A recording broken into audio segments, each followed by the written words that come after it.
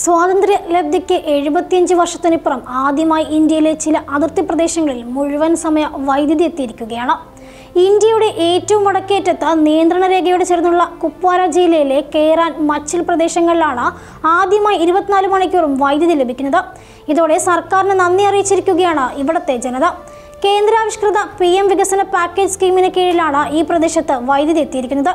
ഇരുന്നൂറിൽ കൂടുതൽ ആളുകൾ താമസിക്കുന്ന പ്രദേശത്ത് അവരവരുടെ ദൈനംദിന ആവശ്യങ്ങൾക്കിടയിൽ നിലനിൽപ്പിനായി മെഴുകുതിരി വെളിച്ചവും വിളക്കുകളുമായിരുന്നു ഇവർ ആശ്രയിച്ചിരുന്നത്. ഞങ്ങൾ ഇന്ന് ആദ്യമായി വൈദ്യുതി കണ്ടു. ഞങ്ങളുടെ കുട്ടികൾ ഇനി വെളിച്ചത്തിലാകും പഠിക്കുക. ഇതുവരെ ഞങ്ങൾ വെളിച്ചം എന്താണെന്ന് അറിഞ്ഞിട്ടില്ല. ഞങ്ങൾ ഞങ്ങളുടെ പ്രശ്നങ്ങൾ പരിഹരിച്ചു. സർക്കാരിനോടും ബന്ധപ്പെട്ട വകുപ്പിനോടും ഞങ്ങൾ നന്ദിയുള്ളവരാണ്.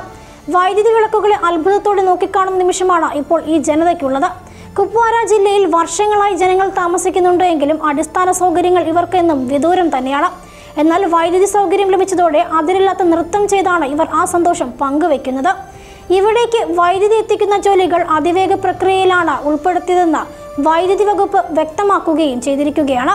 ഈ വിദൂര ഗ്രാമത്തിലേക്ക് വൈദ്യുതി എത്തിയിരിക്കുന്നതിനായി രണ്ടായിരത്തി ഇരുപതിൽ നെറ്റ്വർക്കിംഗ് പ്രക്രിയ ആരംഭിച്ചതായി വൈദ്യുതി വികസന വകുപ്പ് ടെക്നിക്കൽ ഓഫീസർ ഫയാസ് അഹമ്മദ് സൂഫി പറഞ്ഞു.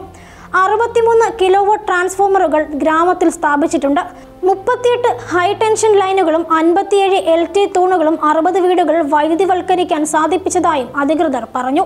മതമെന്നും ന്യൂനപക്ഷമെന്നും പ്രത്യേക പദവിമെന്നൊക്കെ പറഞ്ഞുകൊണ്ട് ഈ ജനതയെ ഇരുട്ടിൽ നിർത്തി എഴുപത്തിയഞ്ച് കൊല്ലം ഇന്ത്യ ഭരിച്ച രാഷ്ട്രീയ പാർട്ടിക്ക് ഇത് ഇന്നത്തെ സർക്കാർ നൽകിയ ഒരു മറുപടി തന്നെയാണ്.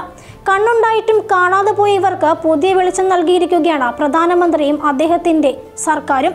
ഇത് തീർത്തും സ്വാഗതാർഹം തന്നെയാണ്.